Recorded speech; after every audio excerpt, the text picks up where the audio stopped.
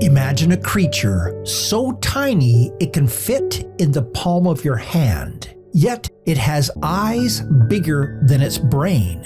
Meet the Philippine tarsier, a night stalking primate with superpowered vision and hearing. But here's the craziest part this little hunter can rotate its head 180 degrees, just like an owl, to spot prey in total darkness. Tarsiers may be small, but their giant, unblinking eyes give them night vision better than a cat's. Their long, thin fingers end in suction like pads, letting them grip tree branches like a ninja. And their spring loaded legs, they can leap 16 feet, that's 5 meters, in a single bound, making them one of the best jumpers in the animal kingdom. These tiny hunters are insect assassins, silently stalking crickets, moths, and even small birds before striking with lightning fast precision. They live in dense forests, hiding in trees during the day and hunting